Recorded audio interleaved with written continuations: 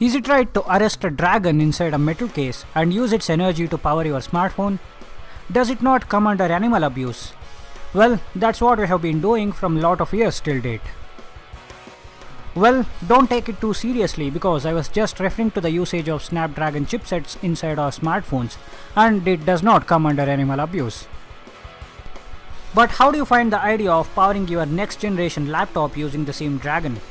Will you be interested? Let's find out.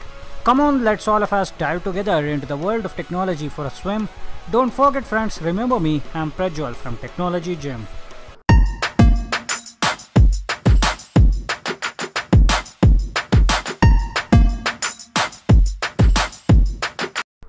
Welcome back friends. As you guys know, Snapdragon 835 is powering almost all most anticipated flagship devices this year. Let it be the recently unveiled Xiaomi Mi 6, Samsung Galaxy S8 or the upcoming OnePlus 5 and Samsung Galaxy Note 8. All of them have SD835 chipset under the hood. But in future, your next laptop will be in the list of these Dragon powered devices. Because later this year, the first Windows 10 laptop powered by Qualcomm Snapdragon chipset will be out in the market for you to buy. This was announced by Qualcomm CEO Steve Mollenkopf in an investor call that happened a couple of days ago. If you remember, Terry Myerson from Microsoft announced last year that Microsoft and Qualcomm would be working together to bring ARM chipset compatibility to Windows 10. So following this, Windows 10 ARM project will come to life in quarter 4 this year with the launch of Snapdragon 835 chipset powered Windows 10 laptop.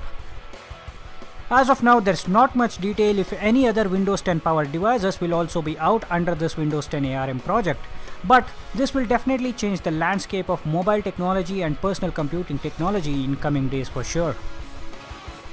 Also, this will open a whole world of new possibilities in which your smartphone can talk to your laptop and according to analysts, this will allow manufacturers to develop much cheaper and affordable Windows 10 devices like laptops and tablets.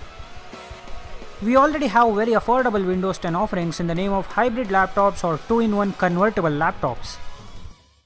But competition in this segment is less and you have very few devices to choose from and existing devices have limited functionality in key areas.